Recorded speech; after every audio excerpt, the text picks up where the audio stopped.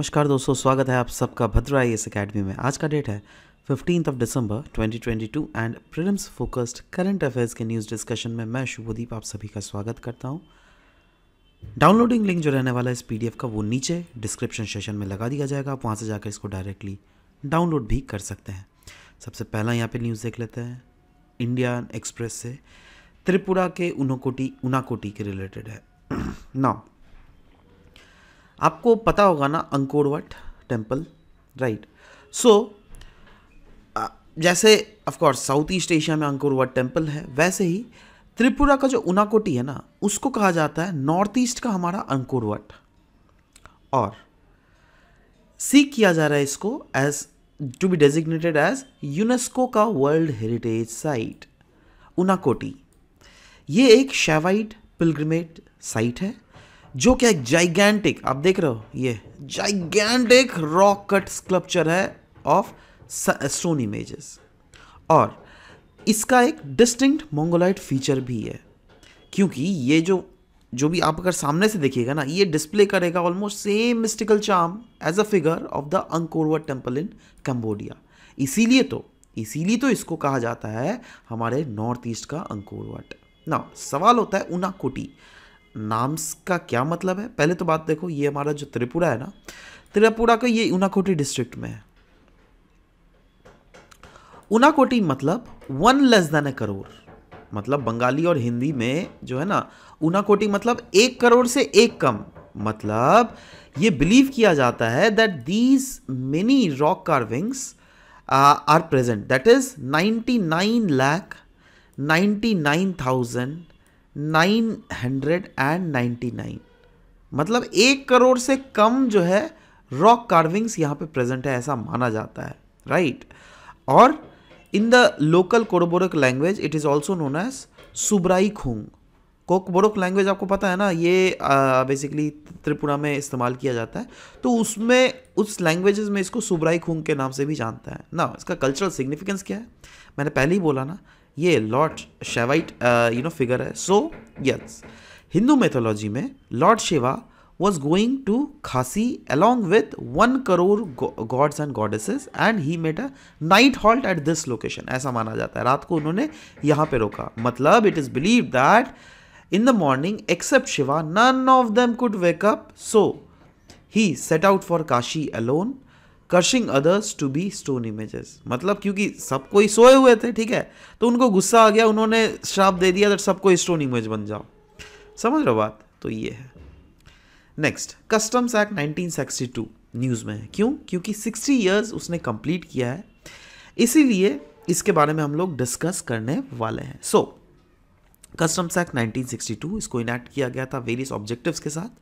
जैसे foreign exchange जो है ना? मतलब इम्पोर्ट्स को रेस्ट्रिक्ट करना I mean restrict the imports for conserving foreign exchange मतलब one of the M word this exports को रेगुलेट करना साथ ही साथ प्रोटेक्ट करना हमारे इम्पोर्ट्स और एक्सपोर्ट्स ऑफ़ गुड्स जिससे अचीव किया जा सके हमारे गवर्नमेंट के पॉलिसी के ऑब्जेक्टिव्स को सेफ़ करना डोमेस्टिक ट्रेड को प्रिवेंट करना डंपिंग को राइट right, प्रोटेक्ट करना industries of India from unfair competition from the other countries और साथ ही साथ smuggling of goods and activities को भी प्रिवेंट करना कोऑर्डिनेट करना legal provisions with other laws जैसे foreign trade act foreign exchange regulation and F C R है ठीक है तो इन सब चीज़ों से के साथ भी काम करना राइट नाउ अगर देख लीजिएगा आप customs act 1962 basically customs department का जो मैस्कॉट है, वो ब्लू स्वैन है, जिसको हम लोग ऑफिसर्स हांस भी कहा जाता है। नाउ ये क्या सिंबलाइज करता है? ये सिंबलाइज करता है purity and knowledge of customs को। देखो, आपको अगर पता होना चाहिए दैट ब्लू स्वान की जो है,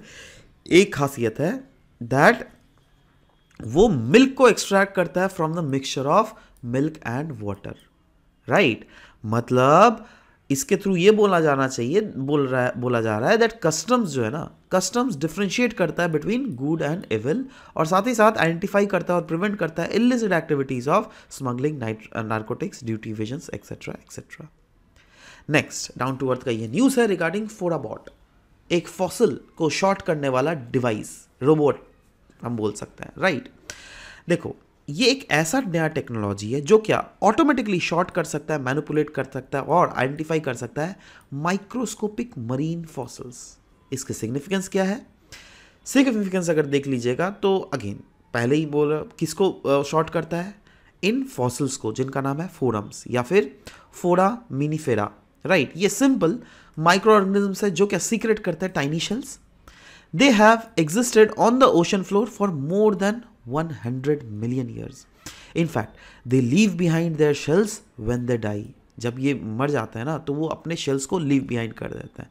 अब इन्हीं शेल्स को जो है ना साइंटिस्ट स्टडी करते हैं और उन्हें पता चलता है दैट ओशंस जो बना था, जब भी बना था, किस टाइम किस type of you know lives तब उस समय अलाइव थी। तो ये सब चीज़ें पता किया जाता है राइट right? तो इसीलिए बोला गया है दैट इसका एक्यूरेसी रेट है 67 परसेंट और फोरा बोर्ड ऑटोमेट करता है इन ये सारे टेडियस प्रोसेस को different types of foram species thrive in the ocean environment and physical inspection and shorting of forums require human time and effort, right तो इसीलिए इस फोराबोट टेक्नोलॉजी के थ्रू जो है, बहुत कुछ ऑटोमेट हो जाएगा राइट right? मतलब जो ह्यूमन अपने से करती थी टाइम टेकिंग होता था है ना ह्यूमन एफर्ट लगता था। वो ह्यूमन एफर्ट बहुत कम लगेगा राइट right? और ज़्यादा एक्यूरेट हमें इंफॉर्मेशन भी मिलेंगे। उससे हमें पता चलेगा दैट किस टाइप्स के फोरम्स जो है, किस यू नो एज में बने होंगे, किस टाइप मतलब आई मीन ओवरऑल ओशन जो फ्लोर की मॉर्फोलॉजी भी के बारे में भी हमें थोड़ा कहीं ना कहीं पता चल सकता है।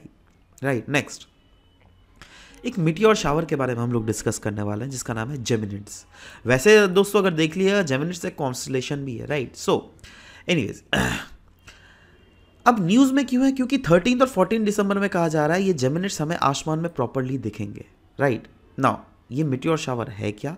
ये बेसिकली एक सेलेस्टियल इवेंट्स है, जहाँ पे बहुत सारे मिट्योर्स को आप ओरिजिनेट कर सकते हैं from one point in the night sky एक ही रीजन में बहुत सारे टूटते हुए तारे आपको दिख सकते हैं। राइट? मिट्योर्स क्या होते हैं? ये फ्रैगमेंट्स ऑफ़ कॉमेट्स होते हैं। जैसे वो कोई अर्थ का एटमॉस्फेयर में इंटर करते हैं ना तो वो बर्न अप हो जाते हैं। क्यों भाई? क्योंकि अर्थ का एटमॉस्फेयर जो है फ्रिक्शन फ्रिक्शनल फोर्स लगाता है इसीलिए। राइट नाउ ये जो जेमिनेट शावर के बारे में देख रहे हैं, ये मिट्योर शावर इसकी क्या खासियत है भाई? देखो, इसकी खासियत यह है दैट ये प्रोड्यूस करेगा around 100 to 150 meteors per hour for viewing unlike most meteor showers बोला जा रहा है they originate not from comet but from an asteroid जी हाँ वैसे तो हम ज़्यादातर मिट्योर कॉमेट से ओरिजिनेट करते हुए देखते हैं ना बट ये एक एस्ट्रॉयड से ओरिजिनेट होगा, जिसका नाम है three two zero zero Phaethon right तो इसको वैसे three two zero zero Phaethon नाम का जो कॉमेट है ना, इसको डिस्कवर किया गया था 1983 में ही, और इसको ग्रीक माइथोलॉजी के एक कैरेक्टर के नाम के ऊपर में रखा गया था, जिसका नाम था फियथॉन राइट सो so, बोला जा रहा है as the three two zero zero Phaethon moves closer to the sun जैसे भी वो सन को ऑर्बिट करते करते उसके सामने पहुंचेगा ना तो रॉक्स जो है उसको टूट जाएँगे। तो वो जो ब्रेक ऑफ़ रॉक्स है वो अर्थ के एटमॉस्फेयर में घुस के हमें इस टाइप के जेमिनिट्स नाम के मिट्टी और शावर देखने को मिल रहा है। Right next India internet governance forum 2022 recently conclude किया गया था, इसीलिए ये लाइव में न्यूज़ में भी था। तो देख लेते हैं इसके रिलेटेड इंडिया में जो कंडक्ट किया गया, उसका इंडिया का स्टेटस क्या है। गवर्नमेंट ने बोला, दे, देखो भाई 5G जो है ना and the largest rural broadband connectivity project जिसका नाम है भारत नेट वो कंस्टिट्यूट करेगा ग्लोबल इंटरनेट का one of the single largest presence right in fact India is the largest connected nations in the world जिसमें 800 मिलियन ब्रॉडबैंड यूज़र्स से भी ज़्यादा है और फ्यूचर में और भी बढ़ने वाले हैं। रेगुलेटरी फ्रेमवर्क अगर देख लीजिएगा ग्लोबल स्टैंडर्ड साइबर फ्रेमवर्क जो है, वो एक्सपेक्ट किया जा रहा है to catalyse the Indian internet and the economy internet governance के बारे में अगर डिस्कस करें तो ये कंसिस्ट करती है system of laws rules policies and practices जो क्या डिक्टेट करती है how its board members manage and oversees the affairs of any internet regulatory body India के आईजीएफ के बारे में अगर इंटरनेट गवर्नेंस फोरम के बारे में बात करें तो ये इनिशिएटिव है which is associated with again United Nations का internet governance forum for policy discussion और इंडिया ने होस्ट किया था फॉर द फ़र्स्ट टाइम इस आईजीएफ uh, को in the year 2021 internet governance forum के बारे में अगर और भी देखें तो ये लेट किया जाता है बाई यूनाइटेड नेशंस और ये एक मल्टी स्टेक होल्डर फोरम है, जो क्या प्रमोट करता है conversation about policies and the issues related to internet governance इसको अनाउंस किया गया था 2006 में by United Nation security general याद होना चाहिए। एनीवेज आगे बढ़ते हैं। पीआईबी का ये न्यूज़ है regarding environment education awareness and training ये एक सेंट्रल सेक्टर स्कीम है जिसको इंप्लीमेंट किया गया था by ministry of environment forest and climate change और इसका मेन ऑब्जेक्टिव था दैट कैसे हमारे देश में प्रमोट किया जा सके awareness related to environment students को मोबिलाइज किया जा सके और उनके पार्टिसिपेशन को इंश्योर किया जा सके regarding in environment related any conservation programme right so इस पूरे environment education awareness and training programme के बारे में अगर बात करें सो so, इसके अंदर ग्रांट इन एड प्रोवाइड किया जाता है है ना? Under the national green crops programme जिसके तहत फॉर्म किया जाएगा more than one lakh eco club various regions में। साथ ही साथ नेशनल नेचर कैंपिंग प्रोग्राम भी कंडक्ट किया जाता है इस ग्रांट इन एड के थ्रू जिसके थ्रू नेचर कैंप्स में जो कि प्रोटेक्टेड एरियाज़ में बनाया जाता है, वहाँ पे फ़ील्ड विजिट्स करवाया जाता है यू नो वेरियस बेनिफिशरीज का, जैसे स्टूडेंट्स हो गए, जैसे रिसर्चर्स हो गए। राइट सो ओवरऑल अगर हम लोग बोले तो ये इन्वायरमेंट एजुकेशन को प्रमोट करता है। इन्वायरमेंट एजुकेशन के रिलेटेड अवेयरनेस लोगों के एक्शंस उनके एटीट्यूड सब चीज़ को गवर्न करने का काम किया जाता है right next restoration barometer report 2022 IUCN के द्वारा रिलीज़ किया गया था। यह रिपोर्ट हाईलाइट करती है the use of restoration barometer tool as the only tool currently जो कि यूज़ किया जा रहा है बाई गवर्नमेंट जिससे ट्रैक किया जा सके progress on the implementation of restoration targets restoration barometer report 2022 ये हाईलाइट करता है दैट अक्रॉस 18 कंट्रीज़ इन्वेस्टमेंट किया गया है ऑफ़ 26 बिलियन जिसके तहत 14 million hectares of degraded landscape जो पहले थे ना, उसको रिस्टोरेशन में लाया जा रहा है। रिस्टोरेशन इकोलॉजिकल रिस्टोरेशन का मेन एम पता है क्या होता है? जिससे कोई भी रीजन के इकोसिस्टम को रिक्रिएट किया जा सके इनिशिएट किया जा सके, या फिर उनके रिकवरी प्रोसेस को एक्सलेट किया जा सके, इसलिए तो रिस्टोर करते हैं हम लोग। राइट नाउ रिस्टोरेशन प्लान्स अगर देख लोगे तो वेरियस कैसे किया जाता है? पॉलिसीज़ प्लान्स इंस्टीट्यूशंस के द्वारा। राइट फाइनेंसिंग प्रोवाइड करवाई जाती है टेक्निकल प्लानिंग प्रोवाइड करवाई जाती है मॉनिटरिंग सिस्टम्स इंश्योर किया जाता है।